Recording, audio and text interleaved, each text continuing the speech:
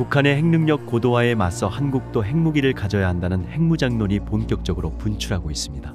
북한이 급격히 도발 수위를 끌어올리고 핵 선제 타격 조건을 아예 법으로 못 박으면서 위협이 실제로 체감된다는 여론이 높아진 겁니다. 이 와중에 김정은 지금 어떻게 합니까? 지금 김정은 큰일 났습니다.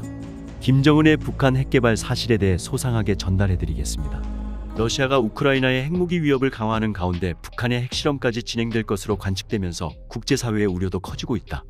북한의 첫 핵실험은 2006년 이뤄졌다. 2005년 제4차 육자회담에서 9월 19일 공동성명이 채택되면서 북한은 비핵화와 비핵화 공동선언 준수를 약속했다.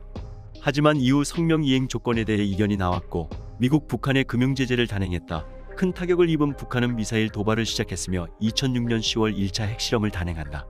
이어 북한은 2009년 5월 2차 핵실험을 했다. 1차 핵실험의 위력은 0.5킬로톤로 히로시마에 투하된 니틀보이의 30배 이하였지만 2차 실험 땐 규모가 3, 4킬로톤에 진입했다.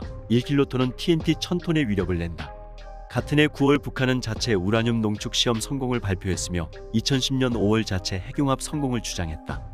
2011년 12월 김정일이 사망하면서 아들 김정은이 북한의 새 지도자가 된다. 1년 뒤인 2012년 12월 북한이 인공위성 광명성 3호 발사에 성공했다고 발표했다. 유엔 안보리는 2013년 1월 장거리 로켓 발사를 규탄하는 대북 제재 결의안을 채택했고 북한은 이에 반발하며 2월 3차 핵실험을 단행했다. 이때 핵 위력은 앞선 12차보다 강한 6, 7킬로톤로 추정된다. 당시 취임한 지 얼마 되지 않은 김정은이 자신의 대내적 불안감을 해소하고 대외적으로 긴장을 주기 위한 목적으로 해석됐다. 이후 북한의 핵실험엔 더욱 속도가 붙는다. 2016년 1월 4차, 9월 5차, 2017년 9월 6차 실험을 진행했다. 추정되는 핵 위력 역시 점차 강해졌는데 마지막 핵실험에선 최소 50킬로톤에서 최대 300킬로톤까지로 분석됐다. 북한은 6차 핵실험이 대륙간 탄도미사일 장착용 수소탄이었다고 주장했다. 수소탄은 플루토늄이나 우라늄을 사용하는 증폭핵 분열탄보다 강하다.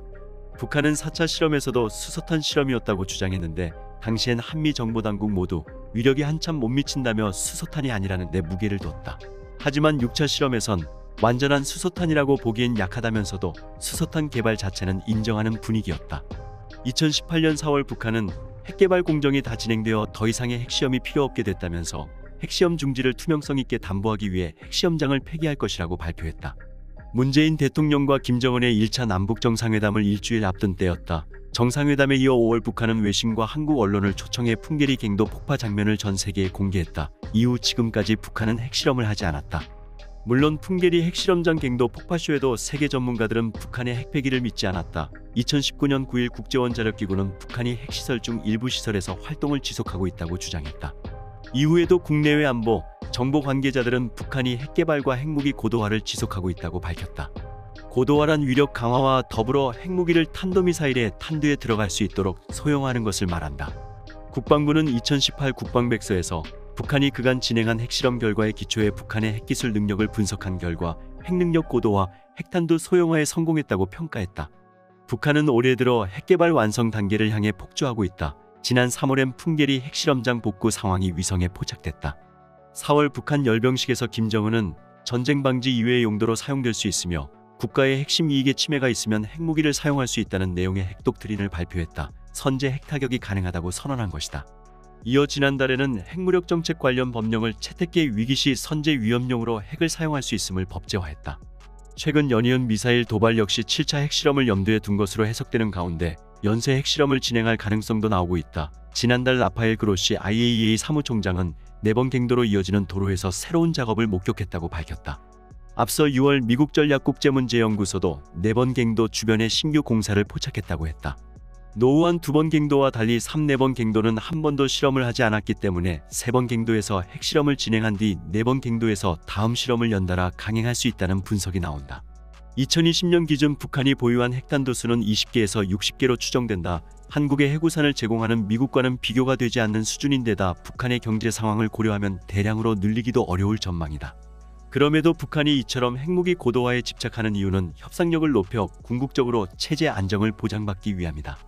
2000년대 초 김대중 대통령 특사 자격으로 평양에서 여러 차례 김정일을 만났던 임동원 전 통일부 장관은 최근 발간한 자서전 다시 평화에서 북한의 핵개발 이유에 대해 김정일은 전쟁 억제력을 갖고 미국과 협상하기 위해 핵 개발을 한다고 말했다고 회고했다. 재래식 무기 전력이 이미 기울어진 상황에서 북한은 핵무기만이 체제를 보호할 수 있는 유일한 수단이라고 인식하고 있는 것이다. 이 때문에 북한은 핵 개발 완성과 동시에 국제사회에서 핵보유국으로 인정받기를 희망하고 있다. 핵보유국은 핵확산 금지 조약에 따라 공식적으로 핵무기를 보유할 수 있는 나라로 미국, 러시아, 영국, 프랑스, 중국 등 유엔 안보리 5개 상임이사국이다. 이 밖에 인도, 파키스탄, 이스라엘도 자체 핵개발을 통해 사실상의 핵보유국으로 인정되고 있다. 하지만 북한의 실질적 핵무기 보유와 별개로 미국은 북한을 핵보유국으로 인정하길 꺼린다. 북한의 공산주의 독재 체제를 인정해야 하는 데다 이를 이유로 한국, 일본, 대만 등 주변국이 핵개발에 나설 기미를 보일 수 있어서다. 이미 한국에서도 무장을 통해 적극 대응해야 한다는 목소리가 나오고 있다. 홍준표 대구시장은 5일 페이스북에서 과연 북이 고도화된 핵전력으로 미 본토 공격과 일본 본토 공격을 천명하고 우리를 핵공격한다면 그때도 미국 일본의 확장 억제 전략이 우리의 안전 보장을 위해 북을 핵으로 공격할 수가 있을까라며 그건 러시아의 우크라이나 핵공격 위협에 대한 미영의 대응 방향을 지켜보면 가늠할 수 있을 것이라고 말했다. 이어 홍 시장은 대북 핵전략을 전면 재검토해야 할 시점이다. 국가 안보는 입으로만 외치는 평화가 아니고 철저하게 군사 균형을 통한 무장 평화가 돼야 한다고 주장했다. 유승민 국민의힘 전 의원도 이날 페이스북 게시글에서 북한이 도발할 때마다 우리는 결연한 대응, 긴밀한 한미 공조를 앵무새처럼 되풀이한다. 이는 아무 소용이 없다면서 이제는 우리가 새로운 game changer를 만들어야 한다. 미국의 확장 억제만 믿고 손 놓고 있을 수는 없다고 지적했다. 북한이 핵보유에 모든 걸 건 이유는 생존이라는 절대적 명제를 위한 거지. 근데 지금 우리나라의 입장도 비슷하다. 러시아, 중국, 북한의 오랜 위협구에 더해 Big Brother 미국이 보여주는 행보까지. 중국, 러시아뿐만 아니라 잠재적 적국 일본 등 주변국들의 우경화 추세까지 생각하면 우리도 자생을 위한 카드는 필요하다. 지국민은 굶어 죽고 있는데 그 상황에서 김정은 악마 같은 자 핵에만 몇백억을 투자하고 그 돈에 국민부터 챙겨라. 북한이 여태껏 발사한 미사일 값만 해도 수십조 수백조 될 텐데 그걸 나라 산업에 투자하고 국민한테 썼다면 김정은 네 배만 불리지 말고 국민부터 챙겨라. 정성산 TV 좋아요 구독 알림은 큰 힘이 됩니다. 후원해주시는 모든 분들께 가열차게 멸공.